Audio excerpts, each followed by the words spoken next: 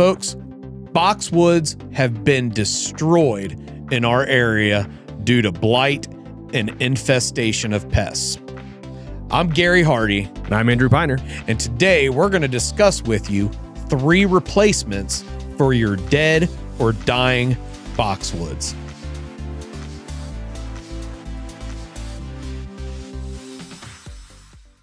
So, boxwoods have long been a popular choice for homeowners, property owners, and their landscape beds, right? Uh, but with the spread of boxwood blight and the infestation with pests and this and that, um, people are having to replace them, and there's thousands of replacements. There's Yep.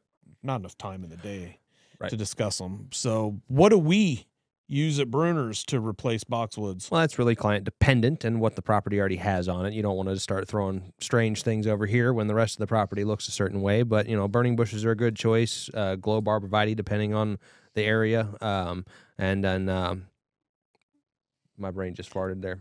Viburnums. There, my- I'm sorry. Yeah. I was like, "Which tree are we going over?" And you're saying there's thousands of bushes, and I'm going, "Okay, you know."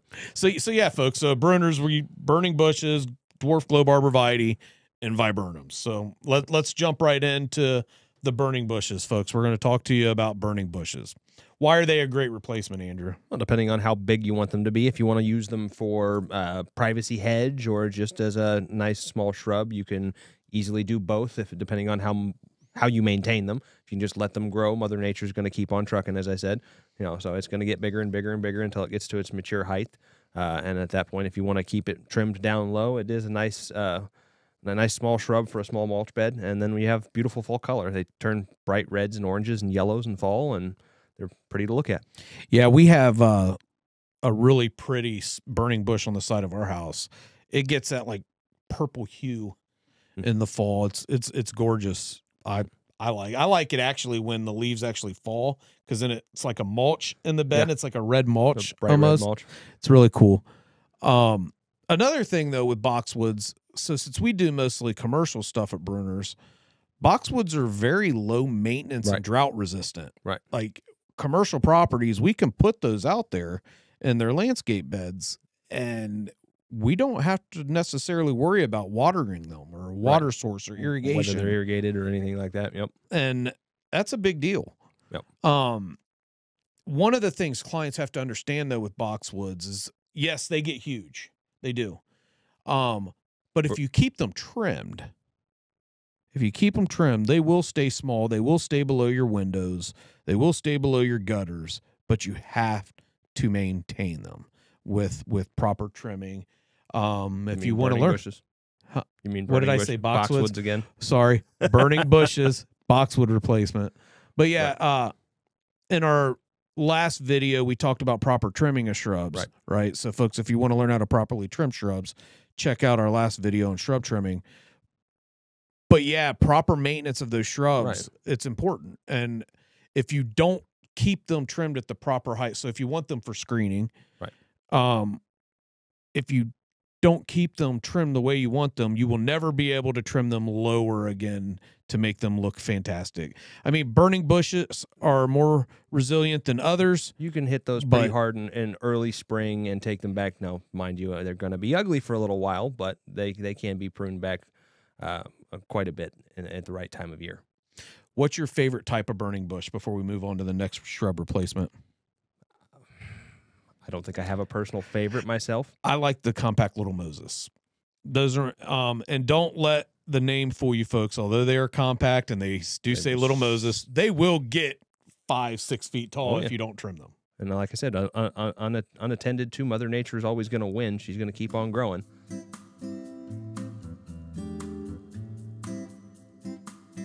All right, folks, it is that time again for the Brunner's Customer Service Corner.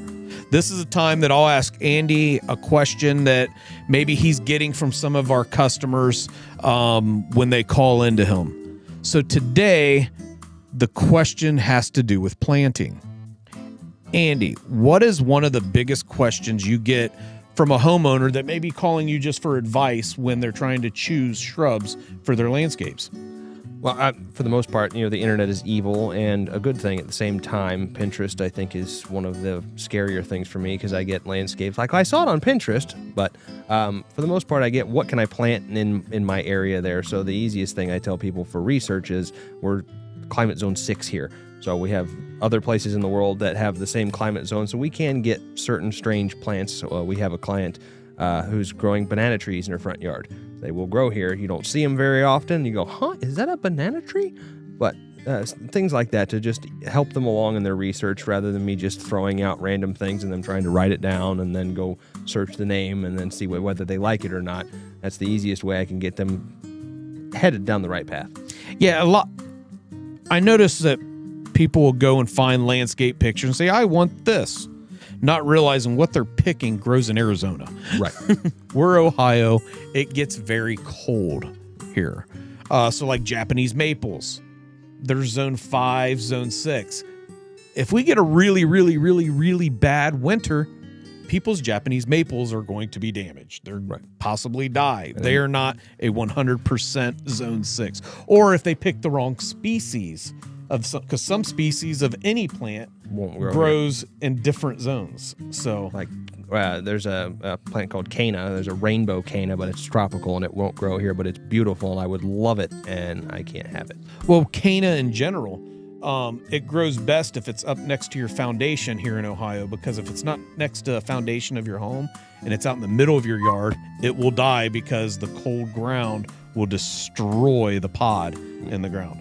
It, And straight line winds will topple them over. It'll topple them over. I love Canna, Mm. one of my favorite plants. Um, ours at our house, it takes a while for it to grow, for it to wake up because of the harsh winters. My neighbors and the birds volunteered into my yard, so can't complain. All right, folks, that right there was your customer service corner.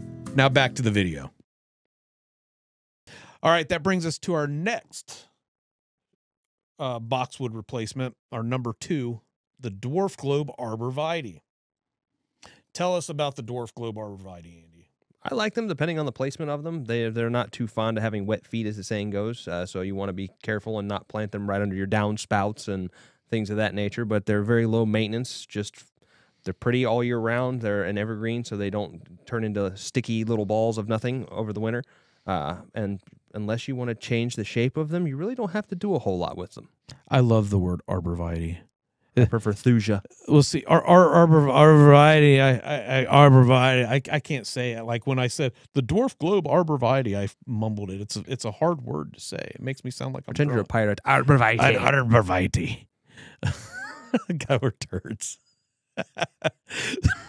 so, uh, dwarf globe arborvitae, they're low maintenance. Right. Uh, they get like in the wintertime, like a bronze type of a Depending hue on- as well. Depending So on you- which ones, uh, the fire chiefs definitely turn like a, an orangey bronze color that are have a little bit of a change there. They're pretty.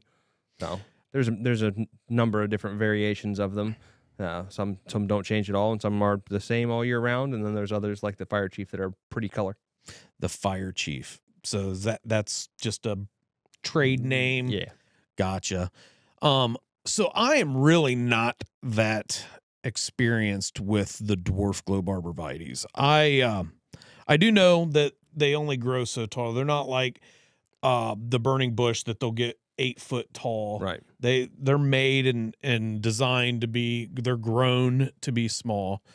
So, but when people think arborvitae, they're automatically sometimes Green think the- giants. the large Yeah. thujas. And folks, that is the scientific name, thusia, Thuja. for the arborvitae. Um, but don't get confused. There are small arborvitae, and there are arborvitae that get what thirty feet tall almost. The the green. Green giants, giants, yeah. yeah. those things are crazy. But as far as replacements for boxwoods, a dwarf globe arborvitae is a great drought tolerant plant Right. that you can put underneath window seals. You can put it out in the middle of your yard. And like we said with the bo- with the burning bushes, I mean, I keep wanting to say boxwood Well, that was the main burning bush. topic. Uh, but like with the burning bushes, Yeah. you don't really need a water source Yep. for the Mother Nature takes care of that for the most part. and they will die if you overwater them. Yeah. Arborvitae Don't like having wet feet. they they they hate it. They hate it. Um, so I I think it's a great alternative. It's an excellent al- alternative. Um, pest resilient, pest resistant, Deer uh, resistant. deer resistant, which is big here in the Miami Valley, Montgomery County, Warren County, Just Greene saw County seven of areas. them run across 48 right near us here. Yeah, I live in West Carrollton, and you see them and coyotes just running down the street. Yep. I But you know what they're not running towards? They're What? not running towards the dwarf globe arborvitae because they're deer resistant. right, right. All right, Andrew. Our third and final boxwood replacement shrub that we're going to talk about today are viburnums. When you're considering viburnums, what is a benefit of having viburnums in your landscapes? I mean, many of them flower and are quite pretty, uh, and, and also it depends on where your placement's going to be and what type of viburnum you're going to be planting, and if you're going to be maintaining it yearly or you're going to let it go because there are some species of it that will grow into your gutters and into your house depending on how long you leave them go. But many, um, many of them have very pretty flowers, and there are some double blooming ones that bloom twice. So it's really personal preference in that in that in that sense. So, folks, you have to be very careful and make sure you hire a professional when you're choosing your viburnum because if you're replacing boxwoods that are up next to your house. You want to make sure you pick the proper viburnum, or you may not want to use viburnum at all. You may want Right. to use one of the other two. Viburnum may be a good replacement for the larger boxwoods that you might have, like as a screening or a, A fence line. Yep. Um, one good thing with viburnums is they're really good at breaking the wind. Mm. Uh, they're like if you allow them and you get some of the larger species, you can use them as a windscreen. Yep. Um, and you know bees and butterflies like them you know and the, and the flowers do. are good so you're you're helping mother nature there in that right actually, of the three replacements, they're the only actual flowering Mhm. uh, shrub that we have on there. And viburnums, they're very resilient, but they do die as they get older. Right. Um, they're not one of those shrubs that you're going to have for 60 years. Um, it's it's going to die at some point. They they age out. Right. Uh, but they are very disease resil- resilient, there's resistant, over blah, blah, 200. resistant. there's over 200 species of them Are there really that many? Mhm. Wow. that's why i say it's, Wow. it, you gotta look and see what the mature height is how big they grow tall and wide so that you know it's proper placement in your mulch beds or in your front yard you know you can use them as a tree in a, in a sense if you will let them go they'll get uh, that big And with that, it's really important to know where you're getting your shrubs and where the professional that may be planting your landscape Mhm. gets their shrubs. I don't have a problem with the big box stores, but as a commercial grounds maintenance professional, we use the nurseries that the box stores get their products from. Right. We like to go out to Brown and Sons love them out there um, out 'em in all the. Phillipsburg. Um, for the hard to find things, we go to our competitor Siebenthalers and we'll buy things from their nursery. For our perennials, we go to Winger Lawn Nursery. Yep.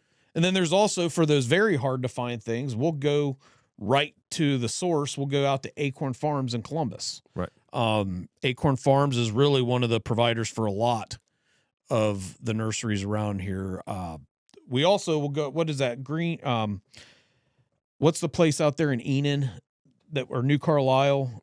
Um, ohio nursery exchange Yeah, Ohio Nursery Exchange. used to be Scarff's yeah, it used to be Scarff's. yep. dan That- out there is great That's a great place to go to for some of those hard to find shrubs as well. But vi- viburnums are a great choice.